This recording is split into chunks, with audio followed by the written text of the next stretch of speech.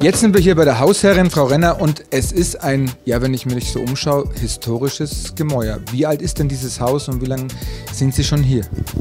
Das Haus ist aus dem Jahr 1520 circa und ich habe es 1995 erworben und zu dem gemacht, wie Sie es jetzt sehen. Also die Decke haben wir rausgeholt und haben so umgebaut für mein Schmuckgeschäft, das ich seit 1995 betreibe hier.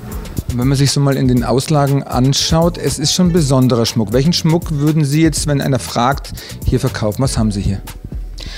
Also ich verkaufe Silberschmuck, Goldschmuck, Weißgold mit äh, Farbsteinen, Diamanten, eigentlich alles, was so klassisch in, in einem Schmuckgeschäft äh, zu erwarten ist.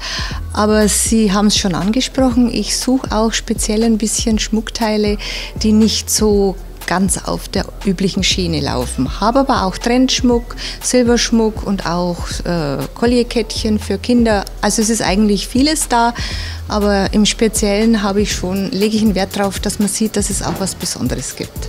Gibt es denn jetzt mal für mich als Laie, gibt es denn, weil in, bei Klamotten gibt es ja auch saisonale Klamotten, gibt es denn auch saisonalen Schmuck?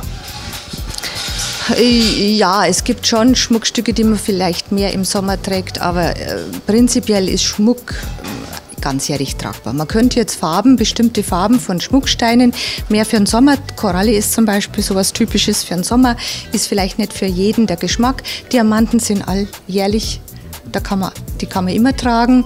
Also das ist äh, der, der, der einzelnen äh, Kundin überlassen, wie sie das gestalten möchte. Was ist denn Ihr Lieblingsschmuck oder was macht denn die Faszination von Schmuck für Sie aus?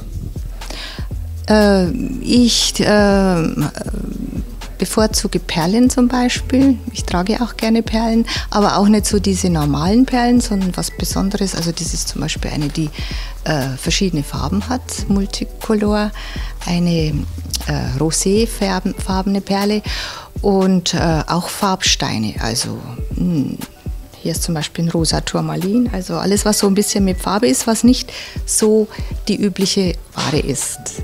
Und dann sehe ich schon, Sie haben auch hier einen Wachhund. Äh, wie, wie heißt der Hund? Wer ist das? Das ist die Eika, die ist jetzt seit zwölf Jahren hier und passt auf mich und meinen Laden auf. ja. Gibt es denn irgendwelche Anlässe, wo Leute sagen, Mensch, ich brauche speziell für einen Anlass Schmuck? Ja, durchaus. Es gibt Jubiläen, also es werden auch Geschenke äh, gemacht für Ehejubiläen oder Weihnachten, Weihnachten ganz im Speziellen. Was natürlich auch äh, speziell ist, das sind Trauringe. Die werden auch bei mir verkauft. Ja, und was wir auch noch haben, wir haben Service. Also nicht nur Verkauf, also Schmuck, Uhrenreparaturen, Gravuren, Perlkettenfädeln, eigentlich alles, was um den Schmuck herum noch so gewünscht wird.